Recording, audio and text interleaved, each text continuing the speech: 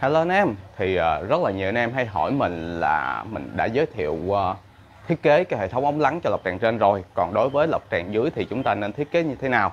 Thì sẵn tiện hôm nay mình có làm một cái ống lắng cho một anh khách. Thì hôm nay mình sẽ giới thiệu với anh em cái uh, thiết kế dành cho ống lắng dành cho lọc tràn dưới nha. Thì về cơ bản á, thì cho dù là xài cho lọc tràn trên hay lọc tràn dưới gì á, thì cái nguyên tắc hoạt động nó cũng giống như nhau. Tức là chúng ta sẽ bơm nước vào trong ống để cho nước đi xuống dưới đáy. Sau đó nước sẽ dâng ngược trở lên và qua được cái hệ thống ờ, vật liệu lọc của mình. Mà đa số thì mình uh, sử dụng là chổi lọc. Còn có nhiều anh em thì sử dụng Zimat hoặc là lưới lan hoặc là vải mùng gì đó. Đó, tùy anh em. Nói chung là đi qua cái lớp vật liệu lọc đó và nó sẽ giữ lại những cái phân cặn và sau đó nước sẽ thoát ra ngoài qua lỗ ao và sau đó đi vào hệ thống lọc vi sinh của mình. Thì đó là cái nguyên tắc hoạt động của cái ống lắng.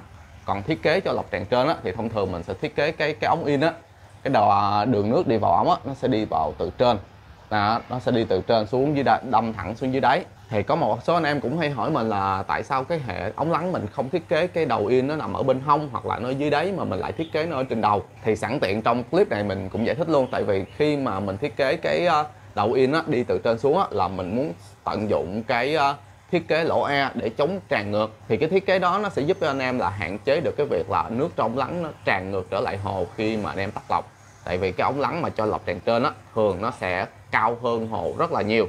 Và khi anh em tắt bơm á, thì theo nguyên lý bình thông nhau thì nước từ trong ống lắng nó sẽ tràn ngược lại hồ và có thể à, gây tràn hồ cũng như là đem một số lượng lớn phân cặn ở trong ống quay ngược trở lại hồ. Và đối với ống lắng cho lọc tràn trên á, để tránh cái trường hợp đó thì chúng ta phải thiết kế để sử dụng ống e để chống tràn ngược.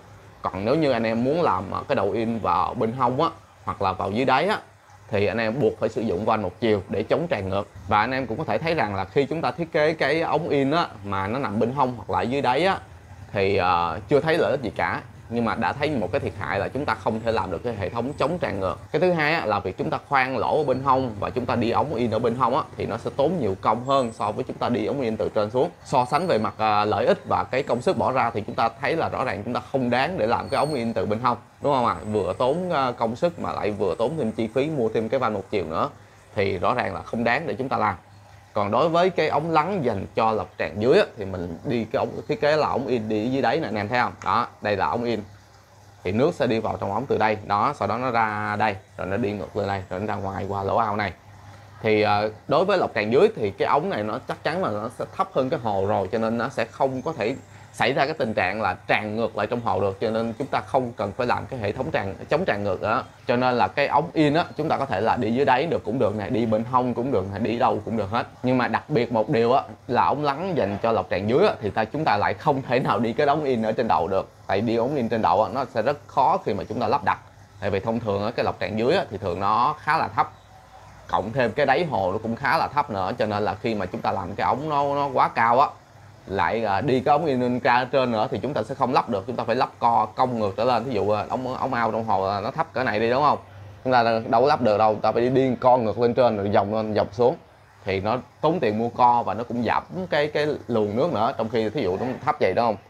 Chúng ta chỉ cần đi ống thẳng xuống dưới đây là nối vô rồi ống là sai thôi. Đơn giản không đó đó là lý do tại sao chúng ta phải thiết kế nó khác nhau đối với lọc tràn trên và lọc tràn dưới thì ờ, cái thiết kế cho lọc tràn dưới thì nó cũng không khác gì lọc tràn trên cả chỉ khác cái đầu in thôi. Đầu in cho lọc tràn trên á thì nó đi từ trên xuống.